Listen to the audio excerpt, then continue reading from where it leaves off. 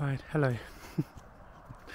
I uh, have recently bought this DJI 2 Pocket um, little camera. It's pretty amazing actually. Um, it enables me to take some videos like this where I can do a little bit more vlogging um, without the limitations of a camera phone.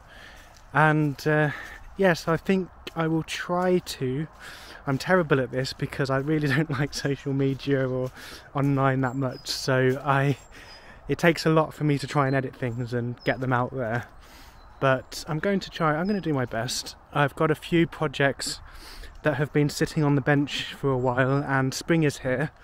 So I'm going to be attempting to get some of those, some of those things done. Now, one of them is that we're just approaching right now, so I'm just going to flip the screen. So cool, isn't it? Just the way you can do that. Um, so we're just down by the down by the lake. These are some old rafts that my stepdad was working on. He was going to have them like fishing rafts, but I don't know what's going to happen there. But this is the structure that I part finished last year.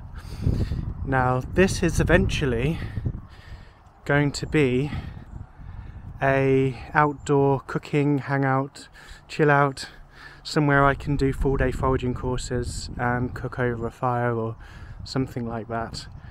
Um, so I'm going to be working on that. I've got to get that finished and uh, try and try and finish that before the 21st of March which isn't very long away now because on the 21st of March I am taking part in a 100% wild food diet, which means that I won't be able to eat anything else at all apart from apart from wild food.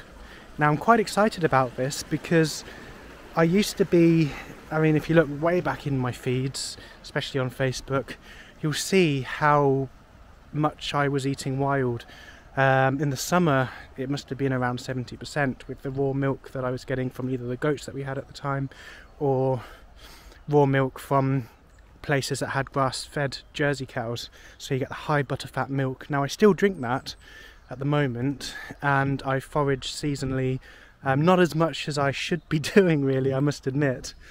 Um, I kind of slacked a little bit over lockdown and COVID and all that stuff that happened. I kind of dropped some of my routines because of be because you weren't allowed to go outside, you weren't allowed to do this and that, and I just kind of I lost the habit and I lost a little bit of motivation back then. So I've so I have made the decision to try and push back into those routines. The last year I spent the last year in 2022 was mostly spent just getting back into rhythm, getting back into what I what I used to do, what I what I was um, a big part of my lifestyle, and um, and it feel and it feels good.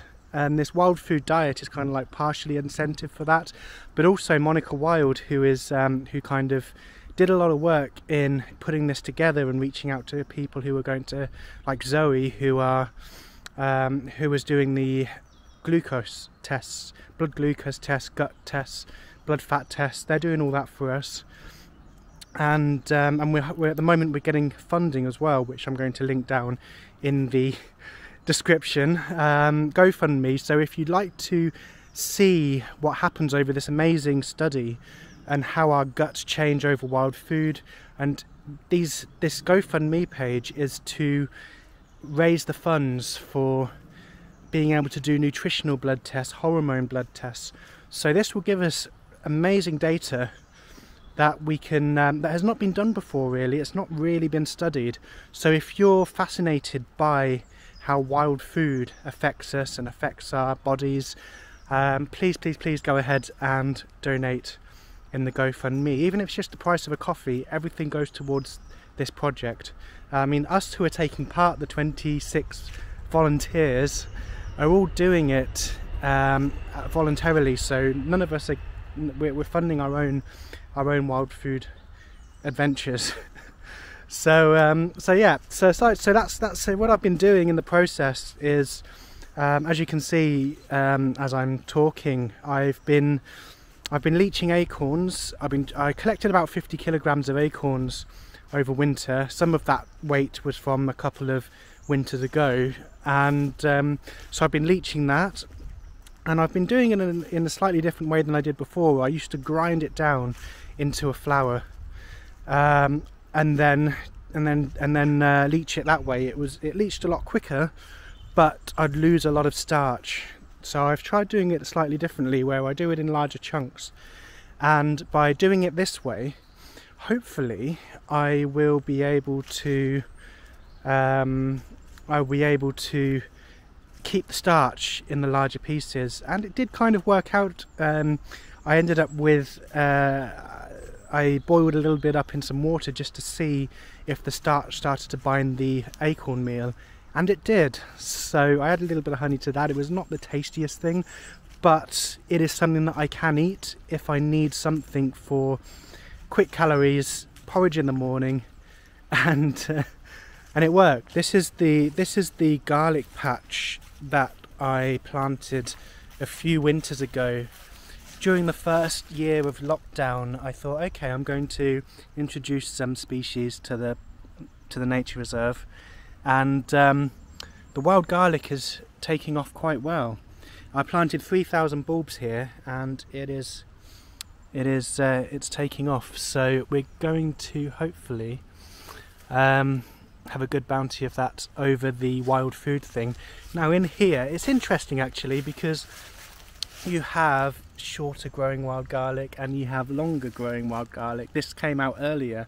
This is from up north and this has always been here so it's uh, it's quite interesting to see the different growth rates and also this wild garlic that is down here is a lot stronger and more pungent than the northern variety which is which is quite fascinating so as we as we walk up here we're just going to go towards the stream now that stream dried up over last summer during the drought, which was the first time it dried up over my lifetime living here. So I've been collecting birch sap.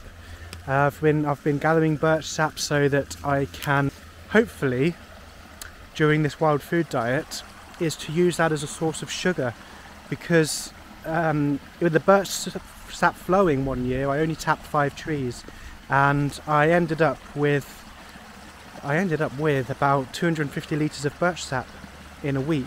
So um, out of every 100 litres of birch sap, you should get, I think it was one litre, um, I forget, but you should get around one litre of, of um, syrup.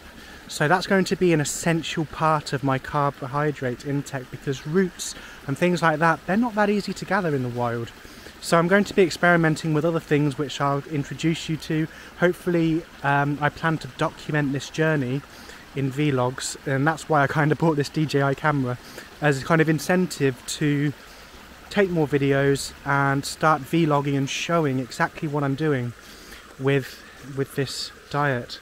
Here is our stream. So I will start drinking from this water source again. I used to drink from this without even filtration. I used to drink straight out of here for about three years straight and no problems at all. Now whether the water shrimp are still in here after the stream dried out last year would be interesting to find out but um, it's very clean water it runs it runs through leaves and mud and roots and it filters itself um, naturally. Um, I did do a test on it a little while ago, just a simple dip test with a stick, one of those sticks that test for certain things, and it appeared to be very very clean. It's definitely not chlorinated, so it's not from drains off the mains water supply. So um, yeah, this is going to be my wild water source during the wild food diet.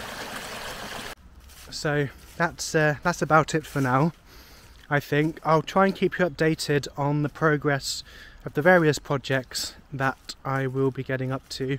And if you're interested in following this wild food 100% wild food journey then please don't forget to like, subscribe, and um, and tune in.